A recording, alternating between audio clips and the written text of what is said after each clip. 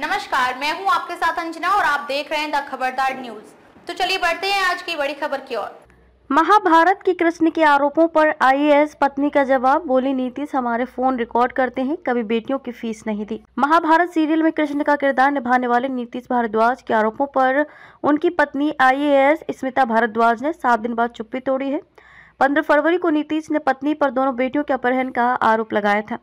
उन्नीस सौ बानवे बैच की आईएएस खेल एवं युवक कल्याण विभाग की अपर मुख्य सचिव स्मिता ने इन आरोपों पर बयान जारी किया है। स्मिता ने कहा कि नीतीश बीते पाँच छः साल से मेरा और मेरे बेटियों का फ़ोन रिकॉर्ड कर रहे हैं। दुनिया का कोई पिता या पति क्या ऐसा करता है?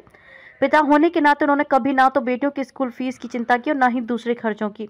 इससे साफ़ है कि उनके मन में क्या चल रहा है। स्मिता ने आरोप लगाया कि 17 फरवरी को भोपाल में जब नीतीश बेटियों से मिले तो उन्होंने गुस्से में बात की और कहा कि तुम्हारी माँ ने कभी मेरे ईमेल का जवाब नहीं दिया, इसलिए मुझे मुख्यमंत्री और पुलिस कमिश्नर के पास जाना पड़ा। स्मिता ने कहा कि नीतीश ने जानबूझकर गलत एड्रेस पर ईमेल की। इस मुलाकात के बाद बेटियाँ गहरे सदमे में हैं, वे फूट फूट कर रो रही थीं। स्मिता के पलटवार के बाद नीतीश ने एक बार फिर वीडियो जारी कर कहा कि वे अब भी झूठ बोल रही हैं। स्मिता का जवाब, मैं अपनी जुड़वा बेटियों देवयानी और शिवरंजनी के जन्म से ही उनकी देखभाल करने वाली माँ रही हूँ।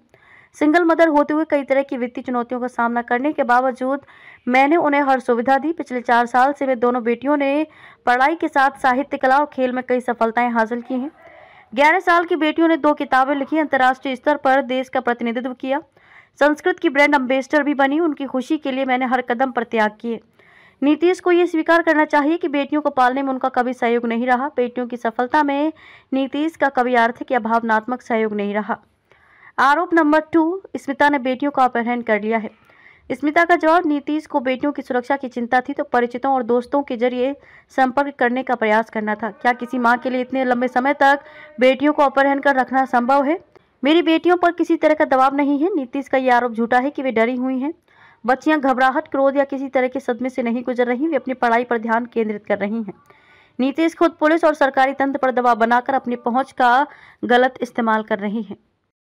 अब तक के लिए बस इतना ही। फिर होगी आपसे मुलाकात एक ऐसी ही बड़ी खबर के साथ।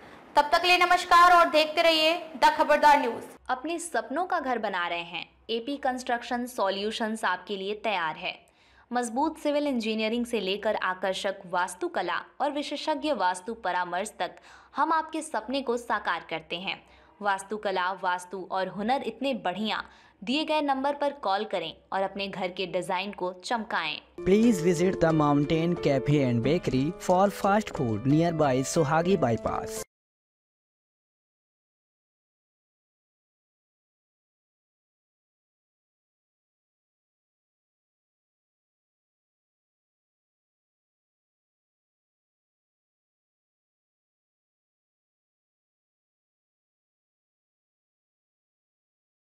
shifting की टेंशन अब no tension shift go packers and movers है ना?